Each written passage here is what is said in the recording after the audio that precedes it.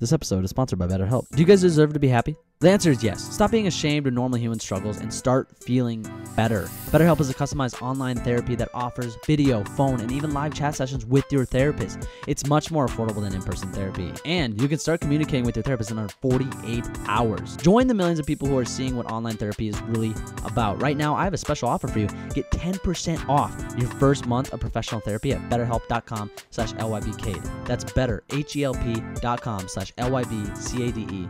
Thanks again for BetterHelp for sponsoring this episode. Guys, welcome back to another episode of Lay Your Brick. This week, I, Cade, I'm alone. I'm going to be talking about how we think tomorrow is promised and a personal story about how important time is and also how important gratification is. Let's get into it. Perfect. Guys, welcome back to another episode. Okay, uh, this one's very important to me because I think a lot of us, just in general, all right, I'm going to start it off with this think that, hey, I'm going to wake up tomorrow. Which, did you know that that's not promised? I know it seems crazy and it, it seems a little dark to say that, but it's true. Tomorrow is not promised for any of us. And recently, there are events in my life that has transpired, and I think that this is what kind of warrants me to really get into this. This is something that's super important to me because I think we need to learn that, like, it's so important to live each day how we want to live it and do things that we want to do. So let's start in with this. This is kind of what started this all. Not really. The the story that I'll tell you later is kind of what started this all.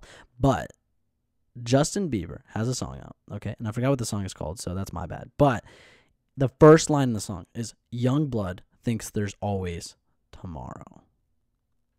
Dude, if JB hasn't said it enough, I will this whole podcast.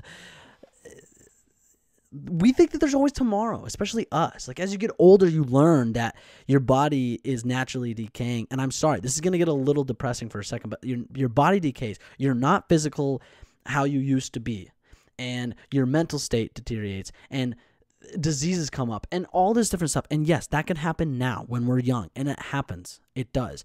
But as you get older, you learn those things, and you're more prone to those things. So what this is talking about is I mean you guys know what it's talking about, but like I, I just it's so important to me that we that we understand that right. I, I want you guys to really understand that that we don't have tomorrow's not promised, guys, and so it's super important for us. I wrote this down in my journal the other night, and I wanna I wanna say it on screen here for you guys. We can't press rewind. We don't have more time. We need to stop saving things for tomorrow.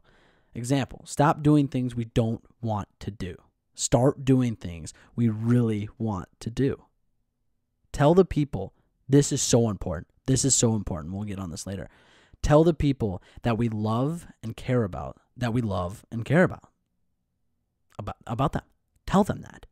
Tell them that every single day if you need to. I know it seems like a lot and I know it seems annoying and whatever and maybe that's true, but at the same time, you don't know ever. You never know if you are going to say goodbye or hello to the someone for the last time. Let that sink in. Jay Shetty and Will Smith have a Jay Shetty's podcast on purpose. He interviews Will Smith, and something on something that Will Smith says on that podcast is on that episode. He says, "I treat my hellos and goodbyes like it's the last time I'm going to see them." So he doesn't just like, "Hey, he goes, Hey, how are you doing? How have you been? What's going on?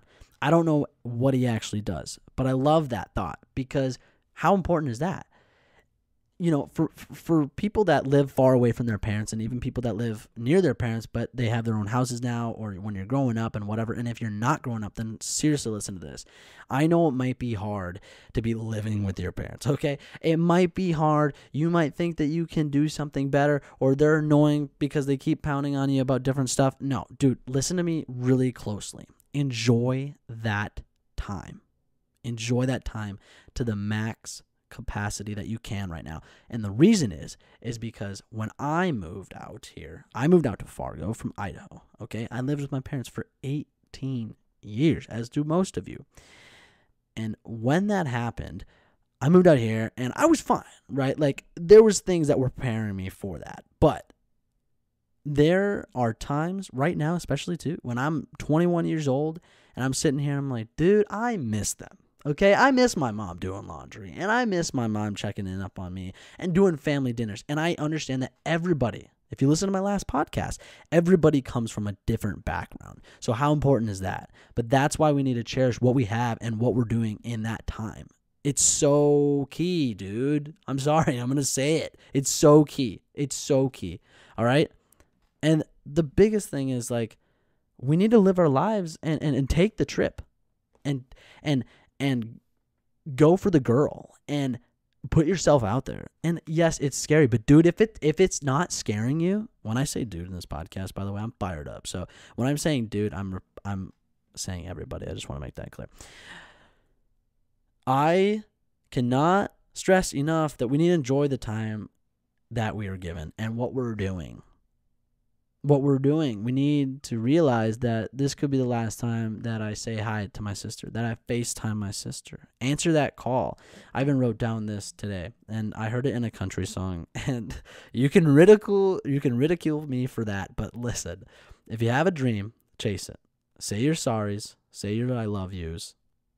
And that that was the actual line. And then I added this. You won't know how bad you want to talk to that person, whether it be your mom, your dad, your guardian, your grandma, your grandpa, your sister, your brother, your aunt, your uncle, any your friends, it doesn't matter. You won't know how bad you want to call them and have them call you until you can't. Until until they can't. So that's why when your mom calls you and you're like, I'm freaking partying right now, dude. I don't want to answer this. Or I'm trying to get work done. Yes, there's scheduled times and there's this and there's that. But think about it. Because sometimes a five minute phone call and just say I love you and say, hey, how you doing? Oh, I'm doing great. That is super important because you could have missed that. And I know that some of this is really dark to think about. So I am sorry that this brings a light to this. But if you're only focusing on that, you're focused on the wrong part. Okay? We need to tell the truth. My God, do we need to tell the truth? The reason that we need to tell the truth, though, and what I will say, is because the truth, that saying the truth sets you free. Oh my God, is it right? Right? The truth sets you free. So when you say something, make sure that you're telling the truth. Is it something that you want to do? Is it something that you care about? Is it something that you are putting yourself out there and it's full of vulnerability? Yes. But do it. Because eh, if you don't tell that person that you like them, for example, like let's just go to this, right? Crushes. Okay? I don't care what age you are. Right? If you don't tell that person that you like them, they might never know that. Your actions probably show it, but let's just be let's act like we're stupid here, okay? Because most guys are dumb and we don't pick up hints even if we wanted to, okay? And I don't mean to generalize us, but it's true. Okay. And girls, the same way. Put yourself out there. I know that everybody has this ideal of like, I want him to make the move first. And guys, too. We think about that too. But we think about that because that happens to us so often. We have to make the move, first move. We have to decide that stuff. And, you know, so for me, I think that it's such an important thing. Communication is so prone. Like it's so key, not prone. We need to be able to establish something that like oh my God, eh, hey, I like you. So I don't know where you're at, but I do like you. So what do you think? And yes, it's awkward and it could be awkward and it could be great, right? When, when we think about these opportunities that are that we're giving, just in general, right? We think, oh, what's the worst could happen? Switch your brain, dudes. Switch your brain and ask, hey, what's the best thing that could happen? What's the best thing that could come out of this? And that is hard to do, but I challenge you to do that because when you start doing that, you'll notice that your brain will do it more frequently. So ch- do it to yourself. Like literally just ask yourself, just repeat it to yourself. Hey, what's the best that could happen in this situation? Because what that will do for you is then switch it and say, okay, hey, I can sit here, I can what if, I can overthink. But what if I tell her that I like her and she's like, oh my God, I like you too? Vice versa. What if you tell him you like him and he's like, damn, Shotty, you fine. Right? So these are the things that we have to like put ourselves out there because those situations can arise. And another thing is, no one can read our minds. All right. I shouldn't have to be the one to tell you that, but no one can read our minds. Right. So what I'm thinking my girl or the interested person is not going to be able to tell what I'm thinking unless we are on a very intimate level. And at that point, you guys should, you know, you whatever, who cares? The thing is, is what is happening here? I'm sorry about that. Um, the thing is, with that is like, wow, you have to tell each other what's going on. That's why communication is so important because if we don't say how we're feeling and what we're and what we're thinking, then how is that other person supposed to treat us, right? And I know, you know, this argument brings up with this. Hey, I want him to buy me more flowers, or hey, I want her to rub my back more, right? But I shouldn't have to ask. Well, yes, to a certain degree. But how long has it been that you guys have been together? And how long has it been since you have asked and and and facilitated those needs for her and yourself, right? Because the major thing is here, I don't want to get in a relationship freaking thing, but the major thing here is, dude, like, what we want from other people, we need to give to ourselves first. That's like the biggest thing out there. Is you got to do if you want to love yourself, you need to love yourself. If you want to love that other person, you need to love yourself first. I truly believe that. Now, yes, like if you listen to Claire's and I conversation, we talk about how you can work on yourself while being in a relationship. And so that's important too. But sidetracking, listen, we need to not take for granted those opportunities that come to us and live your life to the fullest. I know it's cliche and I know it's YOLO, right? And I've also heard the expression. I want to bring this up because this is always in my mind now whenever I say this stuff. But I want to bring this up. The other thing, the other side of this is hey, no, dude, we don't have just this one life. We have many or I'm sorry, that was the wrong thing. It's more of like a a situation where hey, we have we only have this limited time. Wrong. We have a lot of time right? We have a lot of time, but we use it up by overthinking and not doing it and thinking like, "Oh, I want her to like me." Dude, ask her. And it's hard. And you know who's pushed me? Shout out to you, dude. You know who's pushed me? Colby Don Schaefer. Okay? Colby's pushed me since the beginning of time to say, "Hey, Go tell her how you feel. I'm like, dude, shut up. That's scary. Okay. You can't tell me what to, you can't tell me to do that. And he would just sit there and he would say the same thing over and over and he would say it. And he would say, dude, go tell her how you feel. You need to tell. And as soon as I started doing that, which by the way, it took many years. So I'm sorry, Colby, but it took many years. And when I started doing that though, oh my God, dude, like it shaped out for me. Now, do they always like me back? Not necessarily. But I told them how I felt. And guess what? Kay doesn't have to waste time thinking then, right? Right? It can always change. It can always change. Change is freaking mandatory and I can't think of the word. It's going to happen. It's going to happen. Change happens. Now, does that mean that she's going to change? She's going to like me? No, not necessarily. But there's things that you can do to track that and, and understand that. And then you're not conserving this energy for someone that, that doesn't deserve that energy, right? Because it's like, dude, why am I going to waste energy on this person if they're not? And that's not rude at all. And that's not selfish either. You have to keep track of your energy. That's so important. So you have to be able to do that. So put yourself in those situations take every single opportunity that you can. Thank the God, universe, whatever you believe in every single day when you wake up. I promise you. That goes to gratification. But I want to move to a personal story. One that's a near dear to my heart. And I'm and I'm not being sarcastic or playful when I'm saying this. So just know this. So a couple years back, 2017, November. Um, my parents grew up with, not grew up, sorry. I grew up with my parents having these friends, and they and these friends were um, Tom and Deb.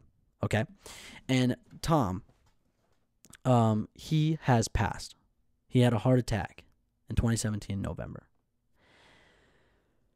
And I- was shocked.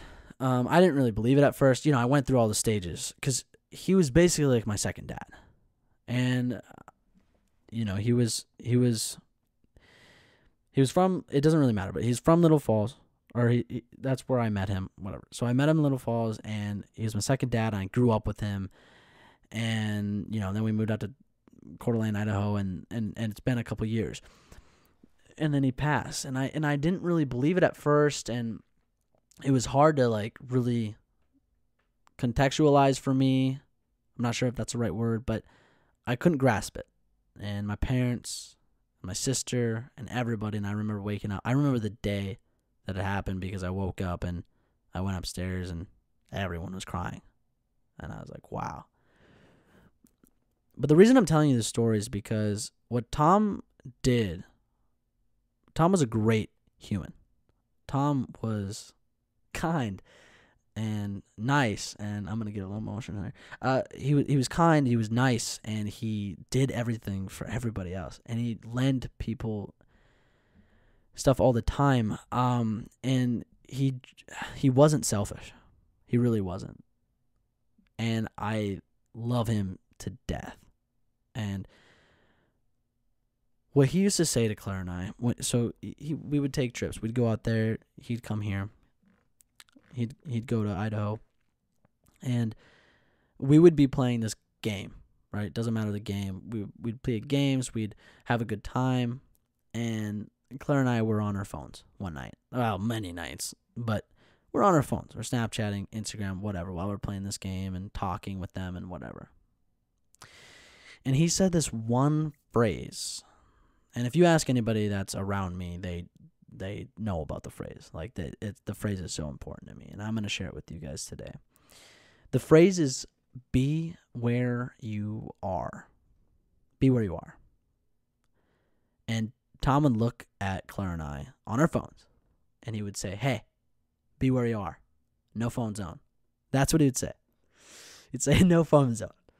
And we'd put him away. And to this day, I am so fucking thankful that I did. Because little did I know that sitting at a dining room table playing a game, you know, was was going to be that impactful for me. But I spent quality time and I spent present time with Tom. And I forever took that lesson with me now. Be where you are. He'd look at Claire and I and go, hey, be where you are. And I have it on my keychain too. And um, it, it, it's such a beautiful phrase to me because he, without knowing, especially him, like just without knowing, he gave us this phrase and hardwired our brains to say, hey, you need to be present. You need to be where you are right now. And I mean, it's just super important because what I'm hoping this story does for you is makes you realize that we don't have time. We we, ha- we have time with these people, and that scratch that we don't have time. Scratch that we do have time, and we need to spend that quality time with people. Quality time. Put away the phones, dude. We're on social media. We're on media all day. All day. But family dinners, and I don't care if you guys are fighting, if you're not, whatever it may be. Just trust me. Put away. Watch that movie with your parents tonight instead of going hang out with your friends. Watch that show with your sister when she asks you to, or your brother. I don't, younger, older, doesn't matter. Play games with your family. Set up the Christmas. Tr- it doesn't matter. You get my examples. We need to spend that time, and if you don't, you'll regret it. And that's you can't do that because when they're gone, they're gone, right? And again, this is getting a little sad. but it's true. When they're gone, they're gone, and you won't know. And you don't know that you love something or whatever until you set it free and it's gone, right? And then when it comes, luckily, some stuff comes back. You know? Like, it, it's a very hard thing to realize, but that's why I want to talk to you guys about it because you guys need to understand that this is so important. And now I have another family member in my life right now that is undergoing some some stuff revolving death. And it just made me think and made me realize that hey, people need to recognize this and understand this, right? Cuz that's what's so important is that we recognize and understand, hey, I need to spend this quality time with these people. I need to reach out. You need to call your mom. You need to call your dad. You need to call whatever. And I know that we all from come from different backgrounds. And I am so grateful for my family that I have and the people that I'm surrounded by. And I hope that you guys are too.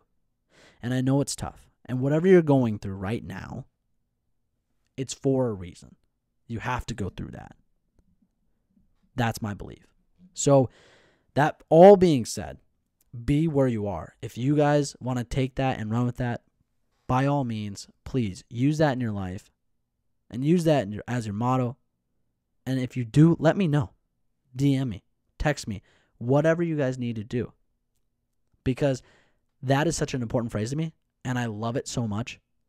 And it would honestly be really cool to see it affect other people's lives. I wanted to see really affect other people's life. I don't want it to just affect mine. Because it's such an important message. Be where you are. God, I love that. And gratification is the next thing that we're going to be talking about here. And gratification is not only big in this whole essence of stuff, it's big in your life in general. Because what we find is when you are grateful for your situation and the, the things that are in front of you, then it you're not chasing anything. You're sitting, you're present because you're grateful for this. I'm not even joking when I say this. This is not motivational BS. I wake up every single morning and I thank the God, I thank universe for for granting me another day, another opportunity to be my best self, another opportunity to have to meet people, to be able to walk. My sister and I were talking about this the other day. You guys have any understanding of the fact that we get to get out of bed and walk to the shower, turn on the shower, get in this, do all of this by ourselves. Some people, I know you guys know this, but it's a hard-hitting fact, and we don't really realize this until it like until it really hits you. So I'm hoping it hits you right now that we can do all of that by ourselves. Like some people are in wheelchairs and some people are paralyzed from the neck down. And even worse you know? And as you get older your knees and everything all this different stuff it it, it, it, it is bad. I'm sorry. It, it it turns bad and it and it is not as useful later on. And so you guys we like i know it sounds crazy sometimes but like we have to be so grateful that we can walk that we can run that we can listen that we can see still our eyesight fades our hearing fades sometimes and yes, there's there's all preventative stuff for all of this, but that's what I'm saying. That's what like pure gratefulness is. It's it's it's realizing your situation. A lot of us w- we think about gratification and this big thing of like, oh yeah, no, I'm grateful for my house. Am I great? And that's super important too. But having shelter, let's narrow it down. Realize that not everybody has shelter. Not everybody has food. I have a fridge. Half the time I open it, I bet you guys do the same thing. We open it, I'm like, mm, I don't really have anything. But you got tons of food compared to other people. I know that comparing and contrasting, Cade told you not to do that, but in this situation for gratification, think about it. Gratification is so important because we it, it humbles you, it sets you down and it says, okay, hey, this is what I'm grateful for. These are the things that I have, and I'm so grateful that I have that. You might not have a Lamborghini, but you have a car to go to point A and point B. You're not walking. You're not riding a bike. You know what I mean? It's a privilege. It's it's an honor. not necessarily an honor, I'm sorry, but like it's super important to have that. Being grateful changes your mind. It changes your body into something that like, hey, I'm when you do it, when you switch it, when you make that switch in your head, like, okay, this is awesome. I get to get up. I get to go to my job. I get to work out if I want to.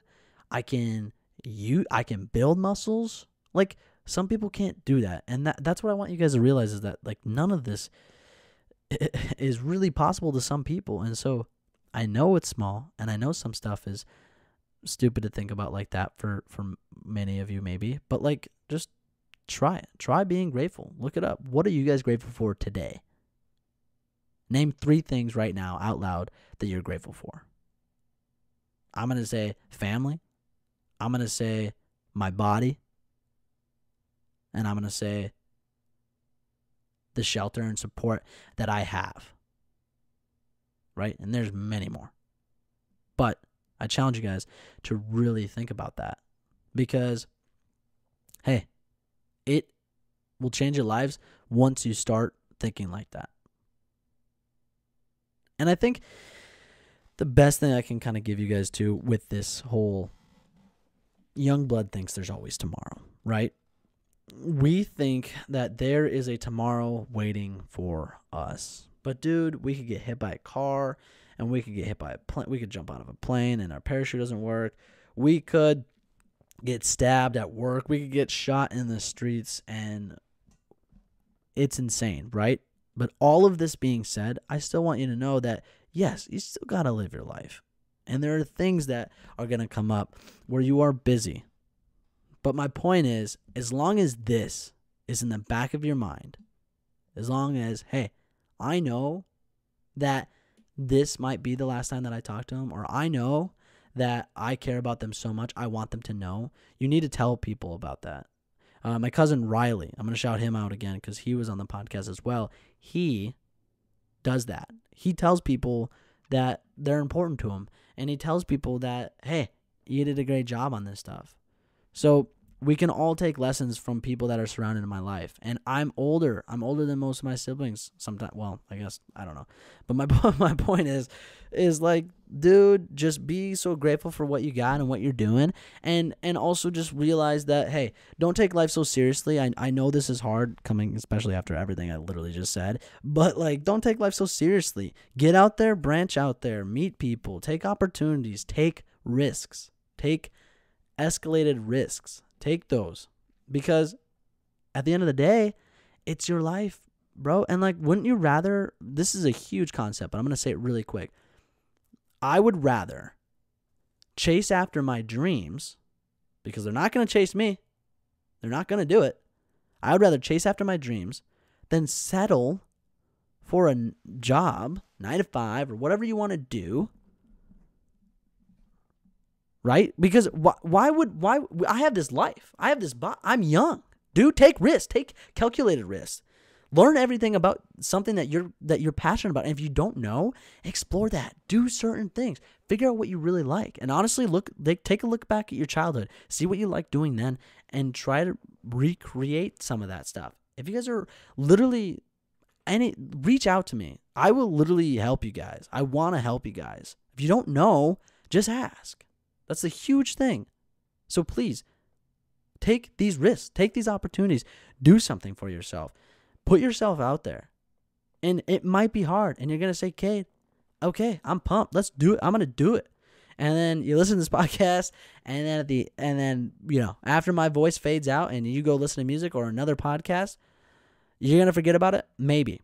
But please, if you're gonna take one thing away from this, chase after something and attract something. I don't even want to say chase because that gets into a whole different mindset for me. But I would rather go after my dreams and my goals than work a nine to five. Dude, I can work a nine to five as a safety and then work on myself after work and on the weekend. And is it hard? Yes. And does it get harder? Yes. You got a wife, you got kids. I don't care what your scenario is, you are always going to be able to find time to do something for yourself and you need to. And if you don't have time right now worked in your schedule, do that because it will elevate you to a whole different level and help you out. So I hope you guys Really enjoyed this episode. I know I did. I hope I know it took you on a roller coaster of emotions. We are all happy, we're pumped, we're sad, and then we're pumped again. so I know this is a different style of one, but I wanted to do this one because it's super important to me. So please, with all of this being said, I hope you guys have a great week. A great week. I don't care what day of week you're listening to this. And enjoy life. Go out there and do do it for me if you're not going to do it for yourself. Do it for yourself. But if you're not going to do it for yourself, then do it for me. Because that's super important. You guys are the best. Keep doing what you're doing. And please, I'll catch you in the next one.